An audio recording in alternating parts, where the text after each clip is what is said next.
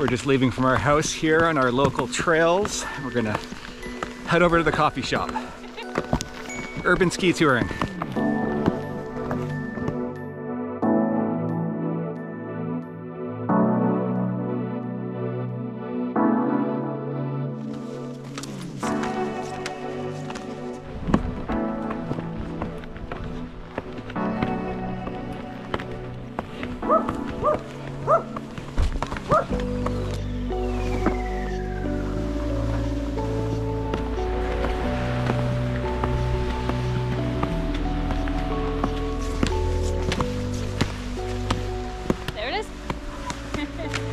It's been a weird winter here in the Pacific Northwest. We did get quite a bit of snow in early January, but it didn't stick around very long.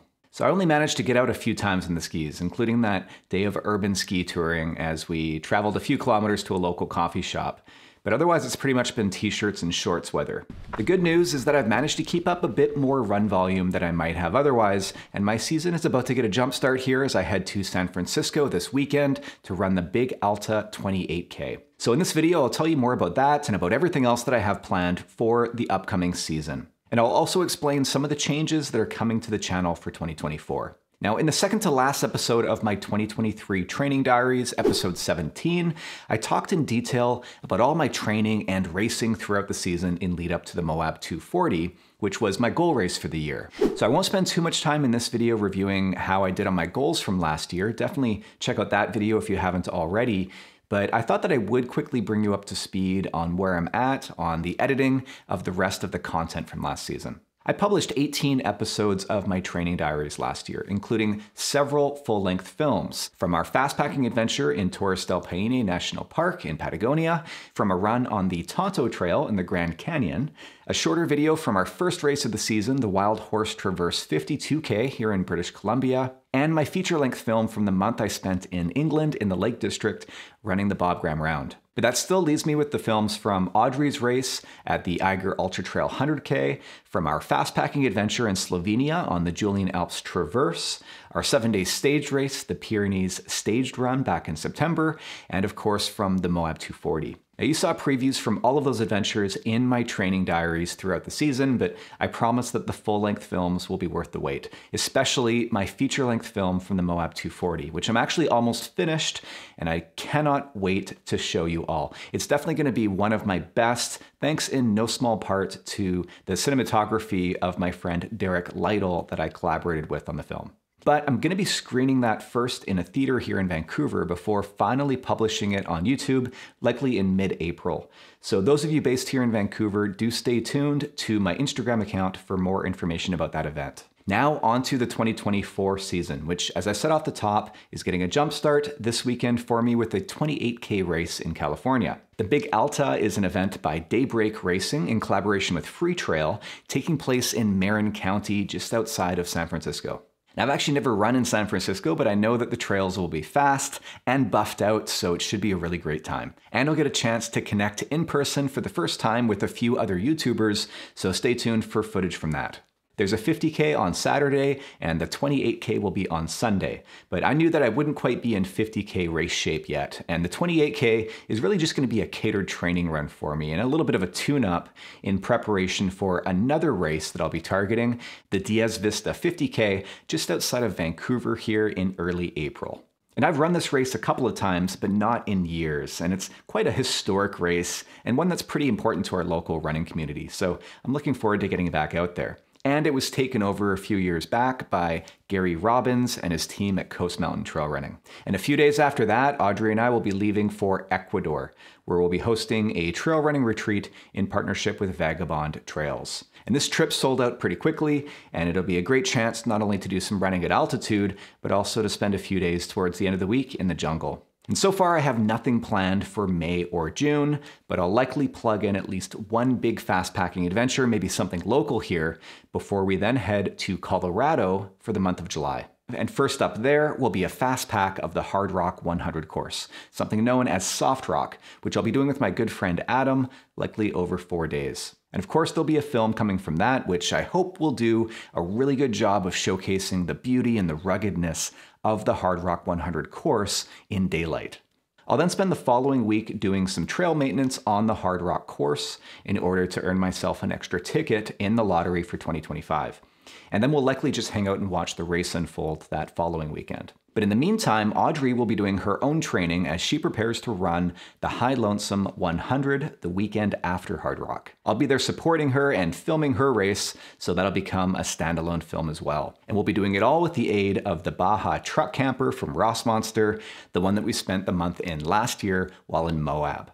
And then right after Audrée's race, it's going to be a quick turnaround here at home before leaving again for Iceland, where we'll be hosting a group on a week long camping and hiking trip. And if all goes as planned, we're going to arrive a few days early so that I can do some fast packing there on a couple of routes that I have in mind as I wrap up my own training. And by the way, there is one spot left for that trip, so if anyone's interested, I'll leave a link to where you can learn more in the description below.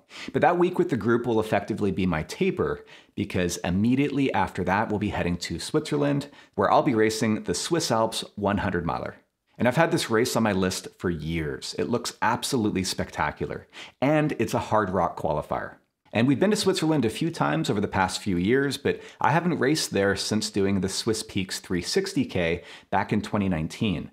So I'm pretty excited to get back out there and to capture what should be some pretty incredible footage. And as soon as that's done, we'll be heading to Chamonix, where I'm gonna kick my feet up and recover from my race, while Audrée hosts a ladies only fast packing adventure on the Tour du Mont Blanc over six days, again in collaboration with Vagabond Trails, who we worked with last year on the Tour du Mont Blanc.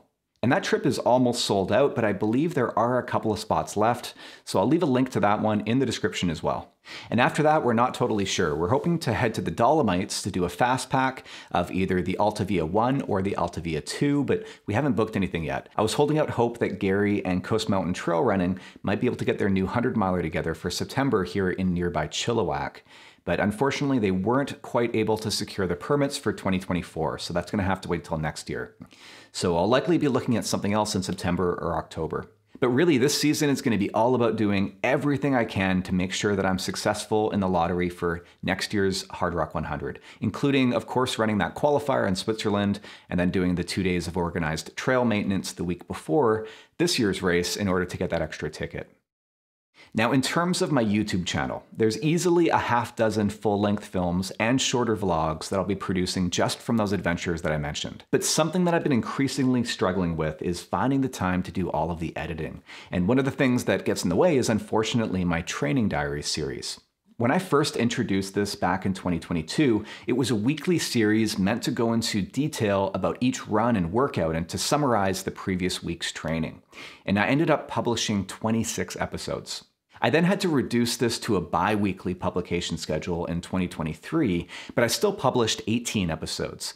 This is in addition to the half dozen films that I published last year, including a couple from my adventures still left from 2022. But ultimately, those episodes from 2023 were really more like travel and adventure vlogs rather than the detailed accounts of my training that I originally intended them to be. And in reality, there ended up being a lot of overlap with the related full length films, and they'd almost end up acting like a preview for my films. But then this would also mean that the films were delayed because I was spending so much time producing and editing those episodes for my training diaries. So moving forward, instead of a fixed publication schedule, I'm going to publish a new vlog only when I have an adventure that I want to highlight, and likely closer now to once a month. And there won't be as much overlap with the longer films from my key adventures and races. So these will be like self-contained vlogs. And I'll be calling this new series Time on Feet. This has been my username on Reddit and a few other platforms for the past five years or so, and it really encapsulates my, my whole approach to training. As you know, I typically do follow a training plan, but it's usually just made up of doing big adventures as training for my races, and I kind of just look at it all as time on feet anyway. So it could almost be the motto for this channel. So moving forward, I won't be talking quite as much about my training, but instead I'll just focus on telling good stories. And the reality is that there are quite a few other creators now on YouTube who are publishing weekly training vlogs, like my training diaries anyway, so there's no shortage of that kind of content if you do want to see, you know, what goes into training for these kind of races. And you can still, of course, follow along with my training on Strava. Now, I hope that I'll then have a little bit more time to publish some separate standalone content about training, where I'll be able to go a little bit more in depth on some of the themes that I originally touched on in my first series back in 2022. So stay tuned for the first installment of my new series, Time on Feet, coming in March. And when it comes to members only content, I've been really enjoying publishing these new director's commentaries as supplements to my films. I've done three so far one about Torres del Paine, about the Grand Canyon, and about the Bob Graham Round. The feedback from you has been really great, and they don't take me too much time, which is ideal given that they're sort of intended to be bonus content. So you can expect more of these to come, and thanks as always to my supporting channel members for helping to enable me to continue to create. So lots more to come, and be sure to subscribe to my newsletter if you haven't already. And if you are interested in becoming a member, then click the join button from within a web browser.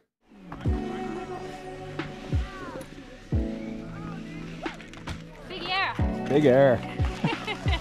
Shredding an R.